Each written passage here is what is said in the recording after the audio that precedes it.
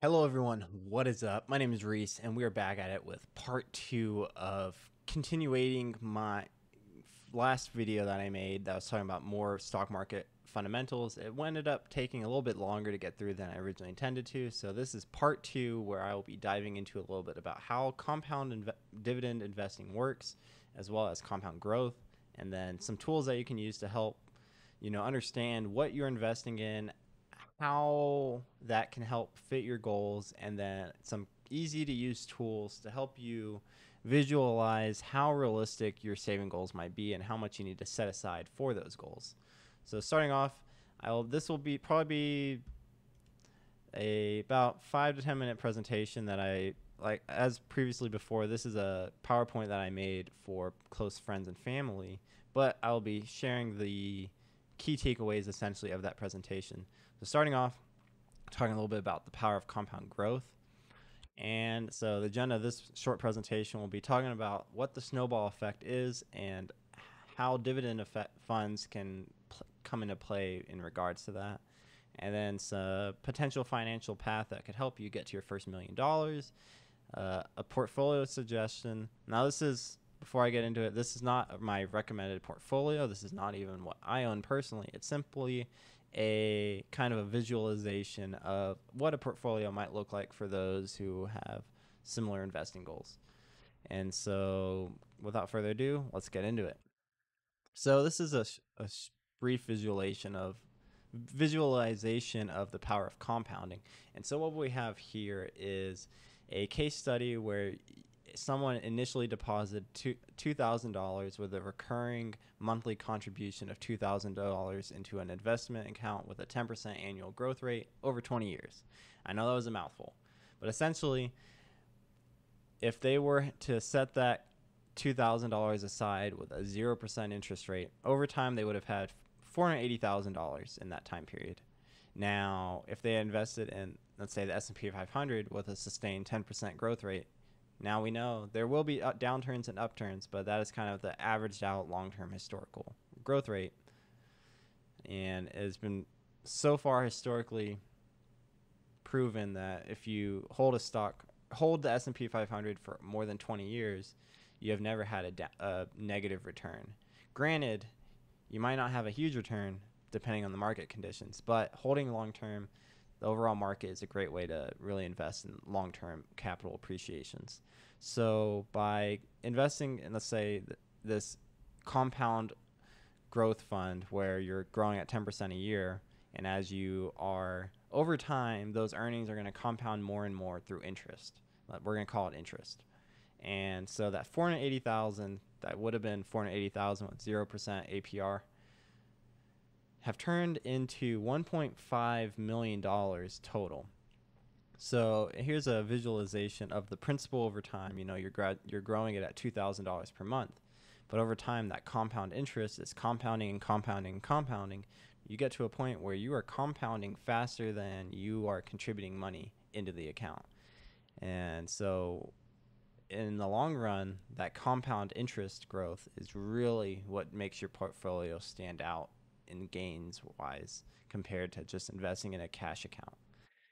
And these one thing to account if you're going at 10% year rate, it is hardest for most people to save that first 100,000 than it is to turn that 100,000 into 1 million dollars. I know it sounds crazy, but through the power of compound growth, it is much easier to gain these higher amounts of money as once you have money. So getting the money to begin with is the hard part. And so that's why typically getting that first $100,000 is the hardest part for most people. And so why you, sh- you should consider dividends. So presented below is a, an example of investing $100,000 into a dividend fund SCHD. SCHD is Charles Schwab's high dividend fund, which tracks the Dow 100 dividends index. And so what this index is in a nutshell, which I will be doing a video breaking down this fund because I really believe it is a great investment option. It essentially tracks companies with a historical historically been paying dividends at a higher than average yield with strong financial fundamentals. And so these companies are growing their dividends over time with a strong payout. And so over time, if you are reinvesting those dividends, you can what is called the snowball effect, meaning your money's getting reinvested and reinvested, and due to compound interest and compound growth, the more money you have in the snowball, the m- more it'll grow. So these dividends, as they're getting reinvested, they are growing larger and larger. And so this is visualized down below, where remember this is hundred thousand dollars being invested at once. Not a single more dollar is contributed. This is all through dividends. And so portfolio income, meaning that how much dividends is being paid, you know, is about a little over 3000 in 2012. And then five years later in 2017, we're now at 6,000, so about double the dividend growth. And then five years later, because compounding start coming into play, you're now getting you know a little over eleven thousand dollars a month or a year in dividends. So now we're getting an eleven percent yield per in dividends from our initial $100,000 investment. And that's just going to keep growing and growing and growing. And not only are we getting these dividend incomes, but SCHD has good capital appreciation. It's actually kept up with the overall market very well. You know, this index fund doesn't have companies like Apple in it, for example, but it's still growing at a nice capital appreciation rate. So that's why I will be doing a separate video diving into this a little more. And then getting to a million dollars is a feat that many people will not reach. However, it is possible if you have your goals properly aligned and you are able to set aside money. So, things to keep in mind is you really need to make a budget plan to start investing now. Time is your ally, so when you invest earlier and you have more time on your side, you have much more time for that snowball to compound.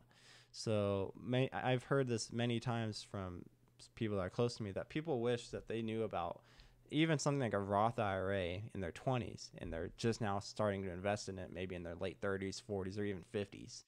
So the earlier you can invest in that, the more time you're letting it sit in the market and compound. And so one thing I recommend is if you're wanting to uh, invest not doing lump sums lump sum investments throughout the year but instead just say $500 of your paycheck or even $100 you can use a brokerage that allows you to automate your investing and let you buy fractional shares. So let's say VTI, for example, is floating around $200 per share. VTI is a Vanguard Total Market Index fund. And if you're only investing $100 a week, you can still buy half a share even time every time without having to wait until you can buy a whole share.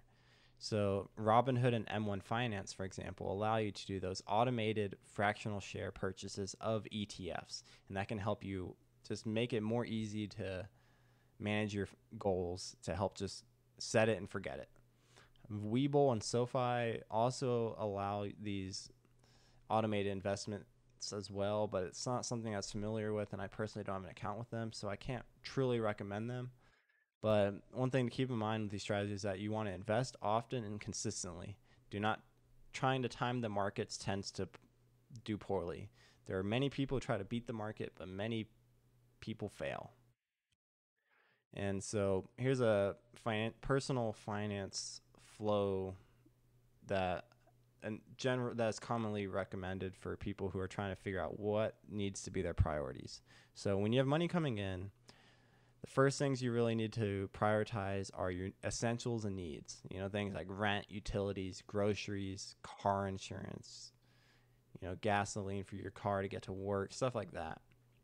Things that you need. Second, you should take full advantage of any tax advantage retirement accounts that you have. So just say you have an employer sponsored 401k with a 5% employer match.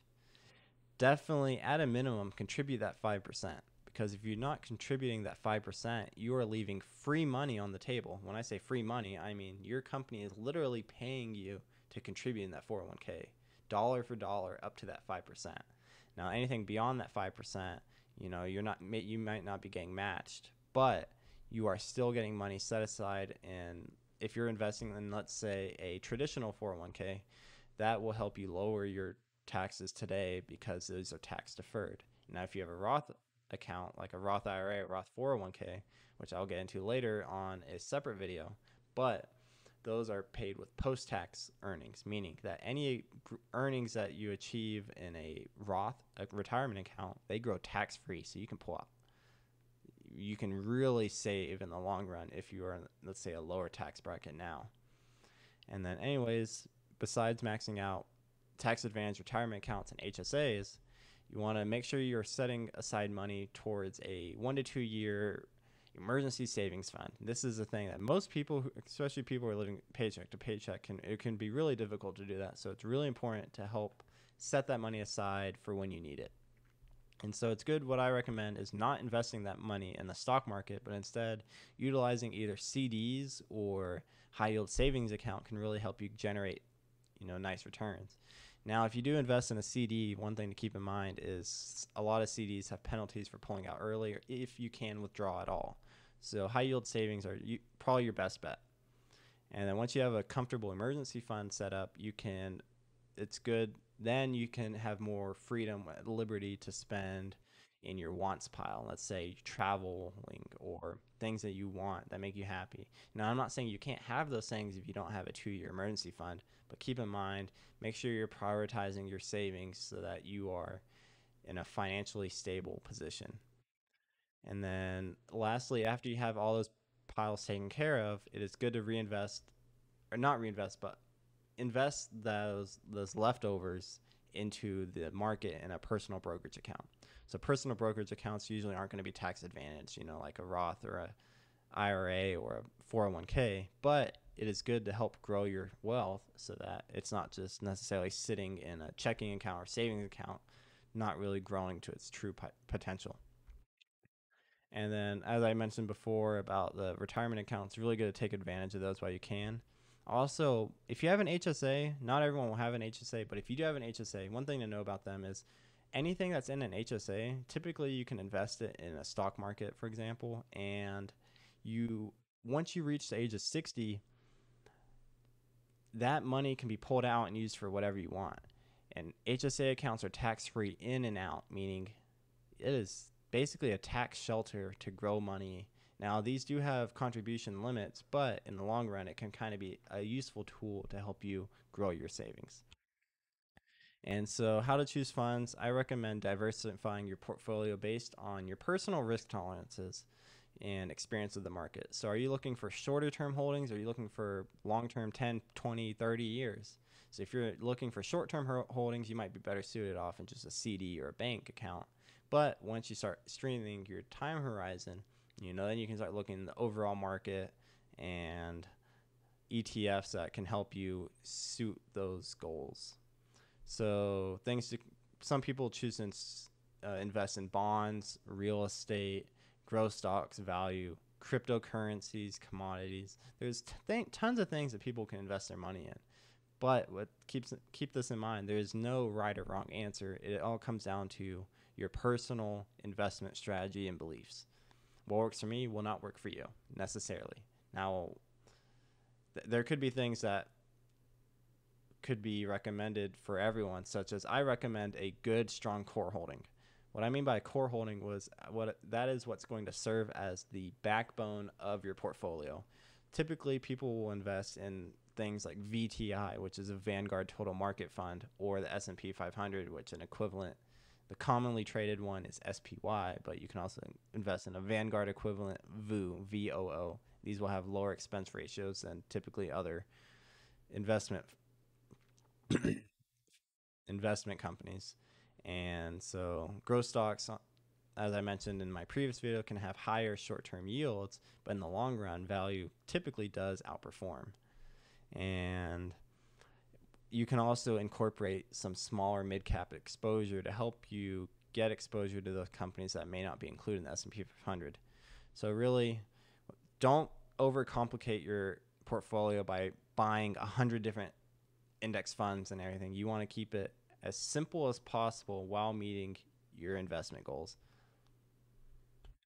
And so once you have a million dollar, if once you do, if you're able to reach the prestigious amount of one million dollars or more in your personal brokerage account, it's important to know that don't pull that out.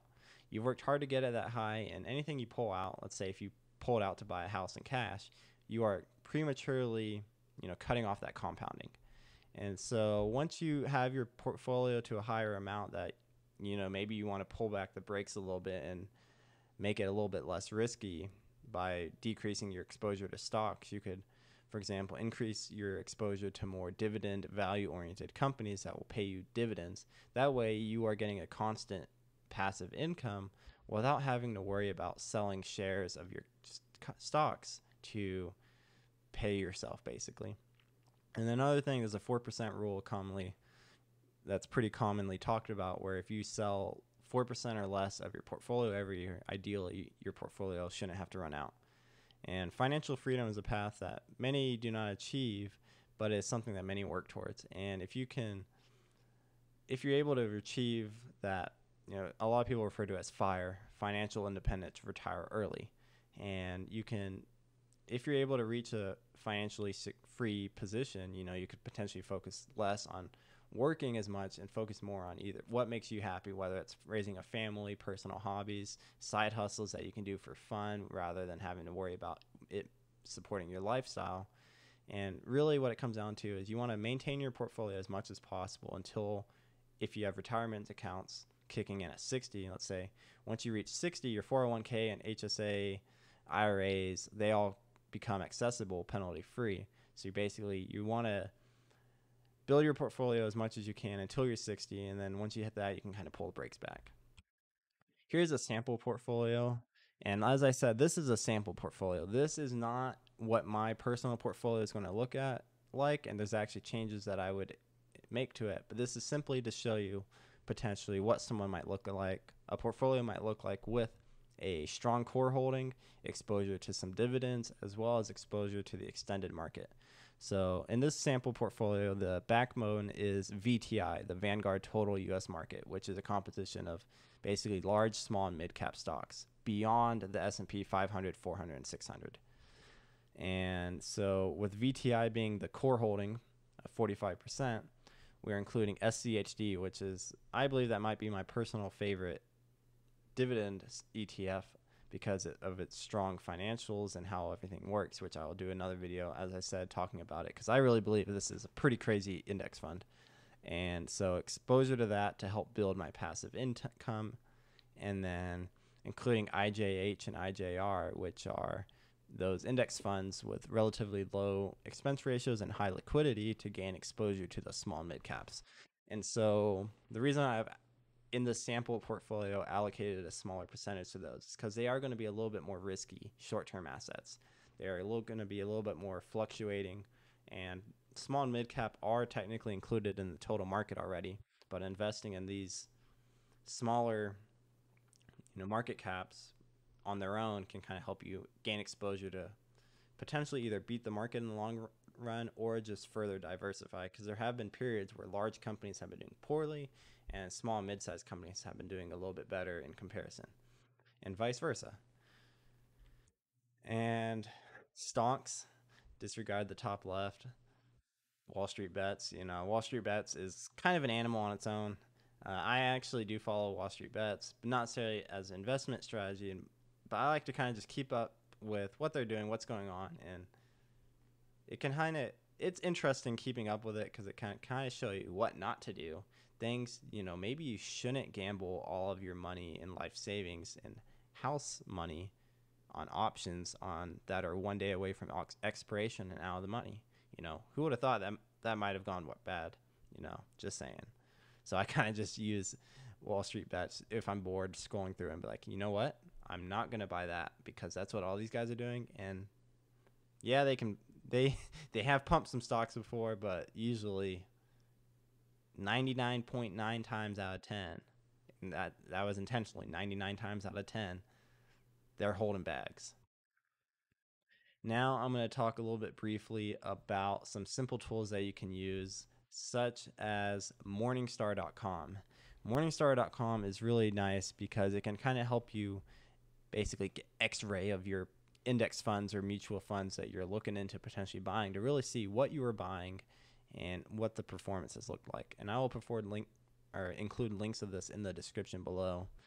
But starting off with Morningstar, whenever you look up, I'm going to start off with VTI. So you can search for VTI and we will click portfolio. And portfolio will allow us to see what this what is actually composing this com- this index fund.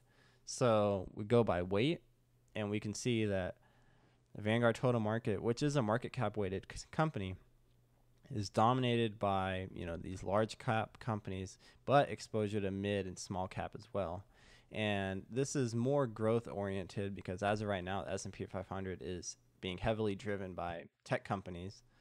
And similar to the S&P 500, the top holdings are going to be Apple, Microsoft, Amazon, Tesla, Google, Berkshire Hathaway, stuff like that, where it's going to be these big name companies that are driving the performance.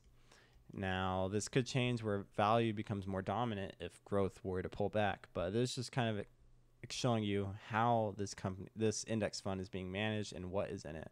You can use this to see long-term performance relative to, let's say, peers, for example, and just a general overall expense ratio of 0.03, for example. You can kind of really dig into it to see.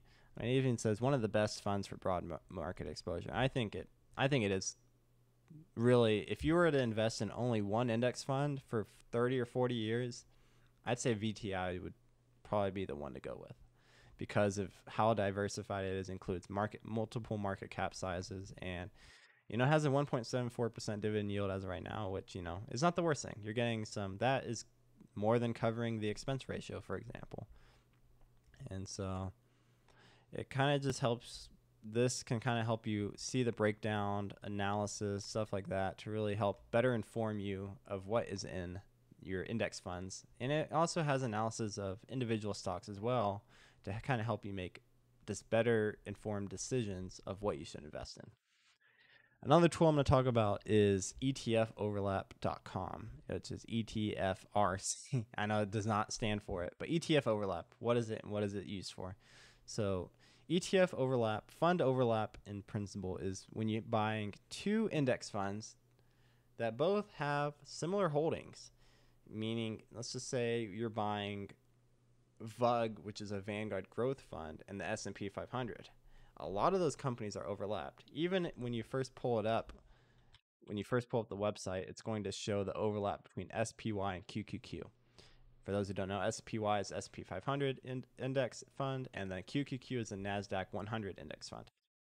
And and the two currently have an overlap by weight of 39% and 78% of QQQ's holdings are also in the S&P 500.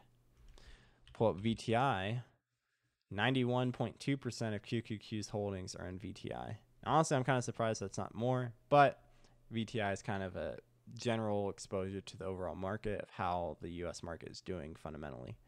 So QQQ and SPY, okay, and SPY and VTI, as you can see, because the total market is market cap weighted, the S&P 500 is the main driver of that performance. So I would not buy both VTI and SPY because they are so heavily overlapped. You're not really gaining anything in diversification.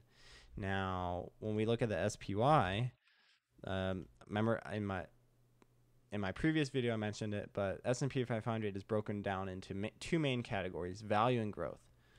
For example, if we look at VUG Vanguard Growth, 50% of the S&P 500 is overlapped in a growth fund and we look at VTV which is a Vanguard value fund 51% as well are in S&P 500 so we compare VTV and VUG you know there's a very minimal overlap. So that that means is VTV and VUG, growth and value on their own have very minimal overlap, but when you combine them together, you basically get the S&P 500. So rather than buying both, you could just buy the S&P 500, and instead of buying the S&P 500, you could just buy the Vanguard Total Market. Now I know there's a lot of words coming out of my mouth, but really you can use this to help, you know, determine if funds that you are interested in buying are really what they say they are and if so, are they potentially just the same thing? You know, there's no reason to buy both VOO and SPY. VOO is a Vanguard SP 500. They have a 99.2 overlap. You know, it's they are essentially this. They are the same thing. You know, they might. Ha- and when you have portfolios that are exactly the same, this could help you pick a fund that has a lower expense ratio, so you're paying less in the long run. And lastly, the last topic of this video. This is a little bit longer. Most of my videos in the future will be targeted more towards 10 minutes or less, but because these are early big picture investment ideas, these will I am spending a little bit longer going through them. So, I'm talk a little bit about another tool that I like to use. It is a simple compound interest calculator to help you show the power of compound interest and how investing in the long run can really help you save money. So let's just say you are trying to gain a million dollars 30 years from now. You could play around with this to see what kind of interest rate or returns you would need, as well as how much you'd need to save a month. So let's just say you have no savings right now and use this tool. We're going to start off with initial investment of $500. So you're depositing $500 and you are saving $500 a month for 30 years and at an estimated interest rate of 10%. Now the S&P 500 has historically since 1960 gave you about 10.5%, but I'm just going to do a 10% estimated interest rate or int- estimated return. And another thing that's cool about this is you can have an uh, interest rate variance range, meaning let's say if we put 2%, it'll show you what your graph would look like, your returns would look like if you got 12% or 8% return. And then compound frequency, we're going to do monthly because we're contributing monthly, but you can play around with it and see how it looks. So in 30 years, if you start with nothing, invest $500 a month consistently, you'll have $1.1 million. If you were to get 12% on the high end consistently, which realistically, you know, is less likely to happen, you could have 1.7 million. And on the low end, 8% over 30 years is considered a poor in, poor investment return wise, but you'll still have 750,000. So starting with nothing and sticking with that $500 a month over time, you can be a millionaire. And this is to show you how starting early is really the key. Because even if we start and we're investing a thousand a month for just 10 years less, you still have less. So even though we're con- contributing contributing twice as much per month, if we cut that down by 10 years, you know, we're really hurting our returns. So time is your friend. If you're investing less over the long run, you will generate more in returns typically than investing a lot in the short run. And you can play around with this yourself to really prove that, that that's true. So basically what I like about this tool is it can really help visualize how much you need to save over what time time horizon to reach your goals. And let's just say you're investing all that money. So back to the original of oh 30 years 1.1 million. That was a great example accidentally. So if we cut that from 30 years down to 20 years, 383,000. So we have like a third of what we could have if we, you know, let it sit for a little longer. Um, so what I want to show is let's do an interest rate of 2%. This is, you know, as of right now, kind of a typical high yield savings yield. If we were to invest all that money for 30 years in a high yield savings, we'll have 250,000. So that really shows you when you have time on your side, investing in the total market can really help you save money. And this, I'll also include a calculator for simple interest. This is more used for, let's say, if you're doing bonds. Bonds don't typically let you get a compound interest rate. What they will do, though, is pay you consistent payouts over time if the bond does not default, which I will do a video separately about covering bonds and how they could potentially be used to help minimize your diversify your portfolio to be a little bit less risk exposed. But in times of high interest yields, bonds can kind of be a more attractive alternative to stocks because if the yield is high and you're investing in a quality company or the US government, for example, with a low risk of default, these high yields are more guaranteed and you're getting a consistent payout. And if you were to say you buy a hundred thousand of bonds or ten thousand dollars of bonds, those dividends or interest that you're earning throughout the year, you can invest that, you can spend it, you can do whatever you want, and you're growing that over time. So, like I said, I'll have to do another video of that specifically, but I just wanted to kind of put these tools on your radar of how you could use them to potentially your advantage to help arm yourself with knowledge and skills to help take on your future. And so I hope you guys found this inve- uh, investing, not necessarily advice, but just kind of sharing what things that I found that have helped me personally kind of learn and make a game plan for myself that could potentially help you make your own plan. So I'll put all these links in the description. Hope you guys enjoyed and found it helpful. As I said, I'll be focusing more towards shorter, focused videos now that I've kind of dumped out two longer videos that kind of just a brief overview of how everything works for those are interested. So I hope you guys enjoyed this kind of content and uh, and most of these are going to be you know kind of a one take thing because I'm not the best at video editing as of right now. It's something I hope to grow and improve on skill wise, but hope you guys enjoyed this video. Please leave a like, comment below if you guys found it useful, things that you might want to see in the future and feedback is always appreciated. You know i'm still working on this. I'm it's not as used to talking to a camera or even the web the background. You know that's nvidia broadcast. I'm just kind of testing it out for now. But that's things that we'll work on and hopefully i will get better at over time as i get more comfortable doing this. But eh, i'm gonna roll. Hope you guys had a, a great rest of your day. Hope you guys enjoyed this video. Thank you guys. Goodbye